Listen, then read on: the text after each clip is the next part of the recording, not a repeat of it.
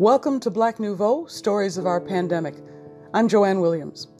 For some Milwaukeeans, the pandemic, the Black Lives Matter movement, and the protests will forever be linked.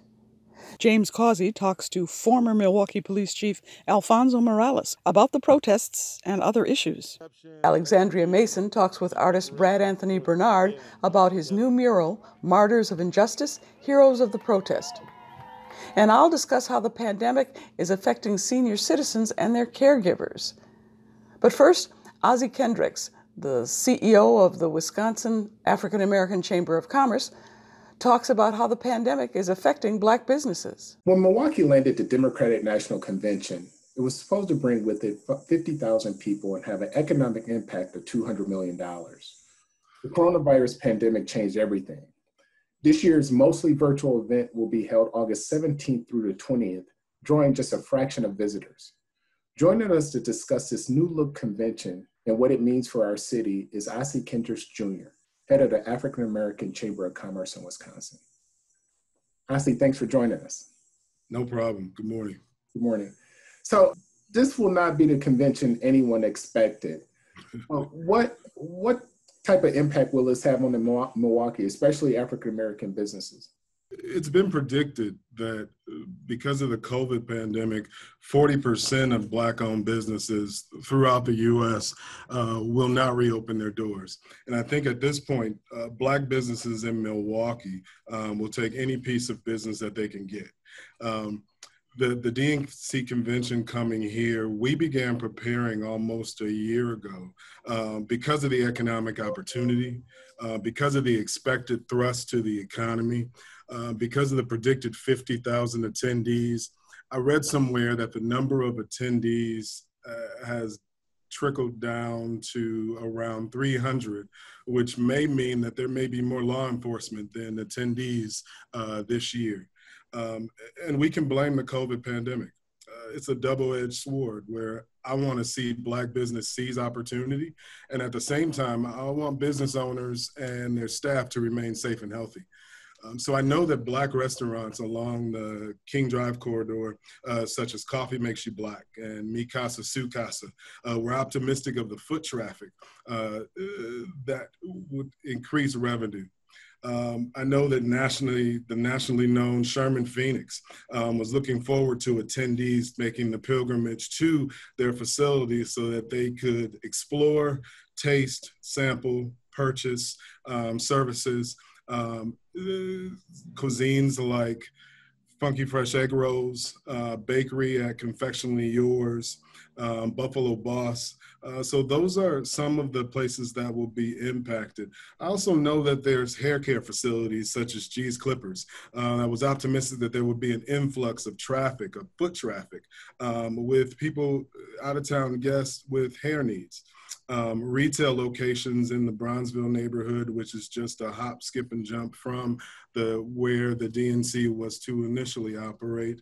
Um, uh, it's a it's uh, operates the Bronzeville Collective, uh, which hosts about 30 creatives, um, and that they were ramping up their efforts um, and ensuring that they had the materials, um, the creations available for guests to purchase. Um, so it's a it's a disappointing time um, that the, the DNC convention traffic won't be here. And even when you look at the entertainment or the nightlife, um, DJs such as DJ Lolo and DJ Infotech um, could have had opportunity um, uh, by participating in uh, um, nightlife experiences, parties um, that the DNC convention was or could have had for the attendees traveling to Milwaukee. Yeah, so th- this is like a, a double-edged sword to some people because you, you figure that we, we missed out on Summerfest. Uh, they're missing out on State Fair, especially the restaurants. Um, I mean, will it, you mentioned being able to bounce back. How will Milwaukee businesses, Black businesses, be able to bounce back from uh, losing so much potential revenue? It's going to hurt. The um, I think the the bounce back as a result of COVID pandemic will take some time. um, the chamber started a recovery fund for uh, businesses that needed to reopen as a result of the COVID pandemic, um, and that wasn't enough. The um, there are federal dollars, uh, there's state dollars in the form of grants, um, and all that wasn't enough for um, the unexpected, if you will. Um, so, how will Black businesses begin to bounce back? The um, uh, really bootstrapping the um, receiving some additional support relative to financials, uh, working with the business owners to ensure that they're filing their taxes um, and that their uh, entities are appropriate. Um, and then convincing um, business owners to establish uh, relationships with traditional banks. Um, that historically has been a struggle, um, but it's a, it's an important need um, for the survival and bounce back of Black businesses within the Milwaukee community. So, uh, Democratic nominee Joe Biden is expected to to attend uh, Milwaukee. What do you want to hear him say, especially when it comes to minority-owned businesses, uh, which are the pillars of, for stabilizing communities? You know, I want to hear him talk about how he intends to uh, be proactive with entities um, that are on the federal level. So, like with HUD, um, with the uh, SBA, to ensure that there are opportunities and to ensure that Black communities are well represented um, in his administration and that the Black experience um, is a factor um, as he resumes an as he takes an opportunity for the highest leadership role in the U.S. Um, so that's a, that's part of the conversation that I want to hear him um, articulate uh, when he comes. It's, it almost seems like we, we, we won a DNC, but we essentially lost. Are there any chances, or is there any way that Milwaukee could get the DNC back in 2024 for like a do over? uh, you know, I hope so. The I think Milwaukee does need a do-over. I believe the the, the COVID pandemic is the blame here, um, and the uncertainty of it. Um, if it were to occur in Milwaukee four years from now, I think everyone would be in for a treat. Uh, Milwaukee keeps getting better and better to me. Um, I'm familiar with a couple of black developers that are building hotels close in proximity um, to where the DNC um, would occur um, a number of de- black developers that are developing affordable and market rate housing uh, close in proximity. Um, so that will be built within the next couple years. Um, the African American Chamber has an entrepreneurial training program known as RISE. And to date, we have 52 alumni and 41 existing or new Black owned businesses that I feel will continue to thrive evolve um, and be prepared should the um, should uh, come DNC convention come in 2024. Okay. Well, great. Hey, thanks a lot for taking this time and talking to us. Appreciate sure. it. Sure, no problem. Thank you. Caring for an elderly or ill family member at home is tough. And when one of those illnesses is dementia, it's even harder. I talked with two families who are struggling to be safe at home.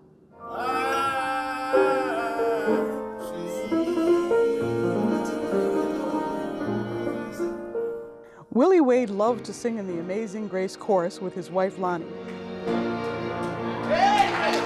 But she died a while back with dementia, and now the pandemic has him living in the house with his daughter Diane.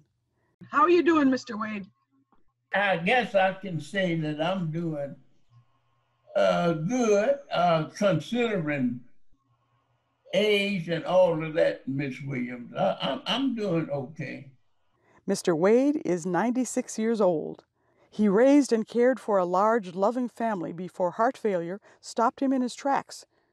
Now the tables have turned, and that family has to care for him. And in March, he, his daughter, and her daughter tested positive for COVID 19. I contracted the virus, and I really don't know where it where I got it from. Uh, me and my daughter um, had it, and um, then I then my father got it from me. Uh, so it's been it, it, was really a rough time uh, dealing with that and trying to uh, provide and help my dad. While all three were sick at home, they have avoided further COVID complications, but the stress has taken its toll. What I've noticed with me, that um, COVID 19 not only affects your body, it affects your mind. Um, I, have not really been able to sleep all night since then. I mean, I, I wake up in the middle of the night, I can't go back to sleep. I worry about family caregivers. I worry about professional caregivers. I worry about my patients. It's a horrible time for all of us. Dr. Richard London specializes in geriatrics and dementia. And the uncertainty of it, not knowing what's going to happen next month or later this year, uh, just adds to the, the stress. So, so my advice to, to caregivers and to professionals is take care of yourself. Do things to help you feel as good as possible. Gail Morgan holds warm memories of her mother Marie, whose strength and personality are being robbed by dementia. The pandemic has her stuck at home and caring for her mother 24 7. It's gotten emotionally draining. That hasn't been fun. I have managed to uh, get a routine in now. And so we have been um, in home together since about March um, 15th or 16th. And um, initially, it was extremely hard. Uh, I think I probably went through a little bit of depression as I was trying to um, regroup to this new norm. And luckily enough, I was one of the people to be very fortunate to still have a job and to be able to work from home. And I think that allowed me to keep going. I could get up and I was able to manage to get my mother um, bathed and dressed for the most part and get her fed. But then when it came down to doing anything for me, that just went downhill. Mm-hmm. I mm. mean, downhill drastically fast. Some of my strategies are to have at least a few minutes where I take a deep breath and sit back and say, I'm going to try to clear everything out of my brain right now. Some people meditate, some people do yoga. Being, being physically active helps us relax. So taking walks, and it can help our, our loved ones with dementia to do that also. All of us feel better if we get off the couch and move around. How old is Marie? She's 93. 93. Congratulations, Marie. Hey, thanks. Thank. You're welcome. Thank, thank, thank. Okay. I'm sure you're glad to have your daughter there. Well, sometimes yes, and sometimes no. yeah, she got a kick out of that too. yes, we do get into fights. Uh, yeah. Yes. But would you uh, would you have it any other way? Uh, uh probably not. I mean, there there are some times when I'm I'm like, oh boy, mm-hmm. yeah, this is not working for me. But you know, these these past months now since I got it together and I got a, a rhythm in place and and we got things going, it's it's it's much better.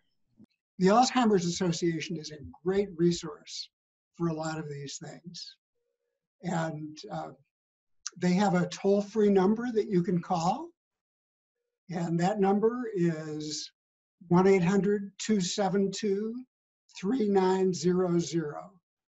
And they, they're a great resource for information about Alzheimer's disease and what we can do during the pandemic.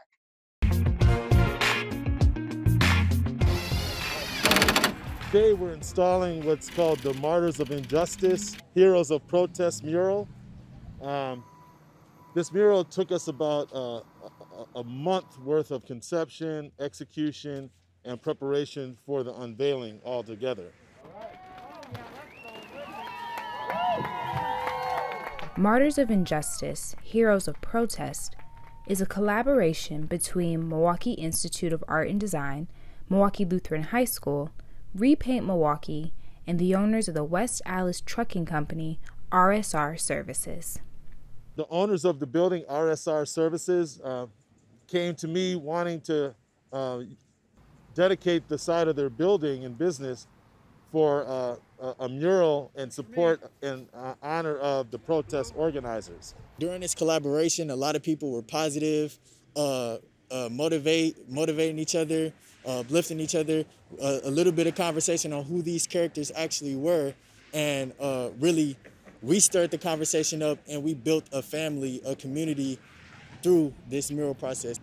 I was compelled to want to include Dontre Hamilton and Ernest Lacy because in recent history and past 40-year uh, history in Milwaukee, um, these are two young African American men that uh, were victims of uh, police brutality. As protests continue to swell around the country for those killed at the hands of police, these artists are educating others about Milwaukee's own stained history with law enforcement. Ernest Lacy died in Milwaukee police custody in 1981 after a knee and neck hold during arrest. In 2014, a Milwaukee police officer shot Dontre Hamilton 14 times following an altercation sparked by reports of him sleeping on a park bench. I think one thing about murals is that they're just in your face. You can't block them, you can't filter them out, so you have to address it, you have to see it. And I think that's just one of the ways that people are finding to express themselves in a way that's not toxic, in a way that's not aggressive. The heroes of protest include Milwaukee activists Markasa Tucker, Frank Nitty II, Vaun Mayes, and Khalil Coleman. I personally had not heard of them before the mural. I won't like lie, but after like knowing about it and knowing that these people are in my community, it's not just like big New York protesters. It's not just big, you know, big cities. It's people in Milwaukee who are trying to make a difference. I think that kind of inspires me because I feel like, well, I'm just one person in Milwaukee, but these people are one person in Milwaukee, so and they're doing so much for us. I think it's dope that the young people decided to uh, find a way to express themselves for justice. Um, you know, I didn't really know what it was really about, you know what I'm saying? So to kind of see it and have the opportunity to pull it down, I think that was really exciting. When I found out, I was surprised. It's already humbling to have a mural, but one in West Allis, you know, somewhere outside of the inner city, is definitely uh, very interesting. Um, I think it will be good um, just to start and spark the conversation with the people in West Allis. Um, those who don't know who we are, those who do, and those who are unfamiliar with the cases of Ernest Lacy and um, Dontre Hamilton. The family of Ernest Lacy says while it's hard to see the same injustices repeated, there's comfort in knowing their brother will not be forgotten, even almost 40 years after his death. It's first of all, it's an honor for someone in the city to think, you know, enough of the Lacy family to, you know, put a mural up for him and uh, it's been 39 years since my brother was murdered by the Milwaukee Police Department. So I just think that it's a nice gesture for the community to come together and community organizations and just shed light um, and let people know it's another, another generation that's coming and they really don't know about Ernest Lacy. Um, so just to kind of put it fresh in their minds because it was a heinous act of violence uh, and brutality um, against our family. And so people need to know that because it's relevant, because it's happening uh, since 1981 and even further back than that.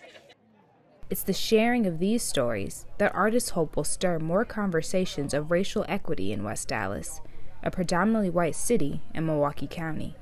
My role can actually spark different conversations in other rooms that I'm not in. So even if I'm in a classroom and we talk about subjects that are uncomfortable to take on at the moment, you know, if doing something like this could actually make somebody talk about it in another room to get that conversation stirring more for uh, a progressive reason. Were you ever hesitant getting this mural on the side of your business? Hesitant, no, but aware that not everybody would love it there. So, yeah, no hesitation in actually doing it, just you know, just had the thought in mind that not everybody thinks the same way I do. There's going to be people that may be opposed.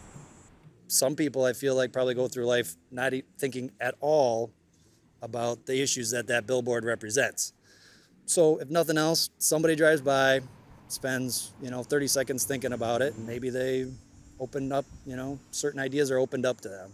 And really, what I'm hoping to get out of that mural is that somebody drives past there and it just makes them think in a way they haven't thought before. James Causey's interview with the MPD's Alfonso Morales was taped on August 5th, the day before he was demoted to captain. Milwaukee Police Chief Alfonso Morales is a leader under fire. There's been a spike in homicides and violent crimes this year. His home has been a scene of protests from members of the community calling for him to be fired. And in July, the Fire and Police Commission issued seven pages of directives threatening discipline if he did not follow them. Joining us to talk about the state of policing is Chief Morales and his attorney, Franklyn Gimbel. Man, thanks for joining us. Thank you uh, First question, Chief, do you believe the Fire and Police Commission is trying to force you to resign? What I can tell you is I am committed to the city of Milwaukee. I'm committed to the residents here in the city of Milwaukee and the organization of the Milwaukee Police Department, the men and women, both sworn and civilian, uh, come to work every day. And I'm going to continue to work for them, all of them, until told uh, not to. You know, I think, James, that uh, this is very unprecedented uh, from my view. And now I graduated from law school 60 years ago, 6 0. And I served as a fire police commissioner between 1987 and 1992 during the uh, term of Harold Breier. I've watched the Fire Police Commission work with the police department and with the fire department. And it has always been, from, from my point of view as a spectator, but an involved spectator, that the Fire Police Commission and the two departments have worked jointly together for the benefit of the community and have not had the adversarial relationship that appears now to be what is in play with this Fire and Police Commission against Chief Morales. So far, about 200 citizens have signed a letter to Mayor Tom Barrett um, asking him to use his authority to overrule the commission's directives. Should he step in? Well, you know, uh, it's up to the mayor. Uh, after all, the mayor appointed each one of the seven fire police commissioners.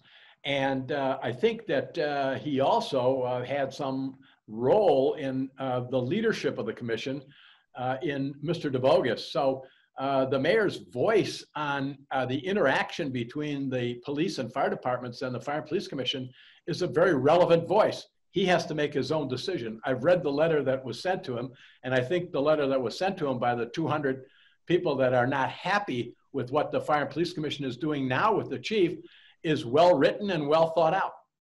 Let's talk a little bit about the directives. Um, one of the directives calls for prohibiting the use of tear gas and pepper spray. Uh, chief, why were these methods used on protesters? The, uh, the chemical irritants were not used on protesters. They were used during a time, six occasions, uh, where it became an unlawful assembly, and it was to disperse the crowd in a manner where uh, we could have less injuries to both the, uh, the, the civilian, the people out there, as well as our law enforcement. So it's meant to prevent injury. It's meant to prevent great bodily harm. And uh, we explained that in a short video last night that we released. That was part of one of the directives. We also went over the policy a week ago as part of the directives uh, to explain that to the Fire and Police Commission. And uh, that uh, policy has been, review of that policy has been uh, pended to September. Uh, but there's reasons why we have this, the chemical irritants. It's not for peaceful protests. In fact, police and law enforcement tend to back off and be very invisible when protesters are peaceful. Uh, we just have to keep in mind that an unlawful assembly is not a peaceful protest. Chief, do you feel that you have the full support of Tom Barrett? Uh, what I can tell you is I'm committed to the city of Milwaukee. I'm committed to the residents of the city of Milwaukee. As you stated, there was a letter that was signed uh, by several people within the community in Milwaukee that's humbling in itself, but it also shows that there's another voice here. Oftentimes, what happens is we hear the squeaky wheel and we listen to the squeaky wheel. Uh, we have to look and understand that Milwaukee is a city of 600,000. And uh, we have to listen to the voice of Milwaukee to really understand what are the real problems in the city of Milwaukee and not get bogged down uh, by the voice of one individual or one group Is it really a problem or is it not? And uh, again, when complaints come up as such, uh, we should be looking at complaints that come through, but understand uh, is it a problem or is it uh, perception or reality? Is, is there a point in time during uh, your time as chief when you felt that the situation started to go sour between you and the community? If, so, can you point out when that happened?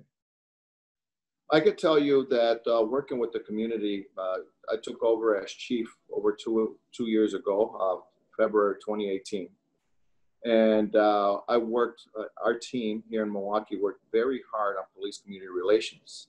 Uh, we were very successful, but what I can tell you with police community relations, it's a constant. It's a it's a goal that you try to meet that is always going to be one that you have to continuously put effort into it because you can lose it. Uh, the COVID 19 this year in 2020 has been a challenge in that community outreach, the interaction with the community, because we had stay at home order. Uh, the faith based organizations, some of the community groups that we work with, uh, were not in operation. So, all of those things create a challenge in the interaction that police have with the community to uh, keep our police legitimacy. And it's easy to have an incident such as one in Minnesota that can set us back, uh, law enforcement in general. Uh, so what I can tell you is police community relations is a constant that you cannot, uh, you know, keep it, you know, take your eye off of it because you can easily lose it. So there's members of the community who say that they want you fired. What would your message be to them on as to, as the reason why you should stay? Well, uh, we if if you hear uh, the let's look at the reasons, and I mean let's have an uh, an intelligent conversation uh, regarding this. Is it emotions? Is it because of something that happened somewhere else in the nation, uh, or what are we looking for? What is it that you want to find? But let's look at facts and not fiction, and, and have that conversation. I'm committed to working here in the city of Milwaukee. Again, oftentimes people say that we that that you want a chief from the community uh, I was born and raised here in the city of Milwaukee. And although I've said it, and some people say you say it too much, uh, part of the outcry is saying we want a chief from the community. Uh, so sometimes uh, the complaints come from perceptions and not reality. And we just have to have those conversations. And at the end of the day, people are entitled to their opinions. Well, we're out of time in this show, but we're going to continue this important conversation in a Black Nouveau web exclusive. Thank you, Chief. And before we close, the Sisters of Creativity exhibit is on display at the Museum of Wisconsin Art in West Bend. You can see it through September 6th. It features the work of six African American women, all from Milwaukee. They were from the 2018 class of the Sisters of Creativity. I spoke with one of them, Tia Richardson, for a Black Nouveau web exclusive. You can see that online at milwaukeepbs.org. Also online, you can find For Jobs and Freedom, a Black Nouveau special. It commemorates the 50th anniversary of the 1963 March on Washington. I had the honor of interviewing Congressman John Lewis for that program. He and Reverend C.T. Vivian passed on the same day. R.I.P., rest in peace, rejoice in paradise. And that's Black Nouveau Stories of Our Pandemic for this time. I'm Joanne Williams. Thanks for watching.